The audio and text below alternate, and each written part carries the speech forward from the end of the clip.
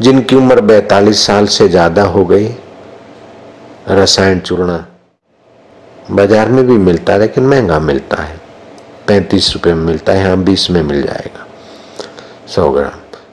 थोड़ा सा रसायन चूर्ण रात को फाक ले, दिन को फाक ले, पानी से, दूध से भी लिया जा सकता तो बुढ़ापा जल्दी नहीं आता नक्शों में पेट के मशीन में